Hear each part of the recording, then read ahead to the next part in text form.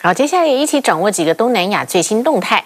首先是曼谷酒店外籍旅客六死案件。现在泰国观光与体育部长强调，当局已经实施严格安全措施，还有游客的筛查程序，确保泰国旅游的安全和品质。而泰国酒店协会则透露，六死案对整体旅游业影响不大，不过也还是呼吁把更多的呼吁政府呢，把更多的酒店纳入监管体系。另外，泰国征信局揭露，坏账已经激增到了一兆一千四百亿泰铢，其中汽车、房屋、信用卡最多，比去年同期增长了百分之十一点三，拖累新增贷款暴跌，低到三百万泰铢的房地产债务充斥市场，每月收入低于三万泰铢的族群最令人担忧。而菲律宾跟中国因为南海领土冲突而关系恶化。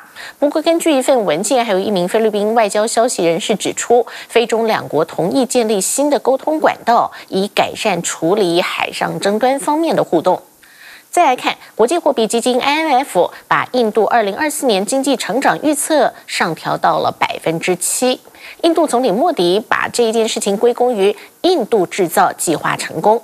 另外，IMF 对全球 GDP 成长的预测值维持在百分之三点二，明年则略升到百分之三点三。再有一个是台湾方面的相关讯息，台湾失联移工官方数字已经有八点六万了。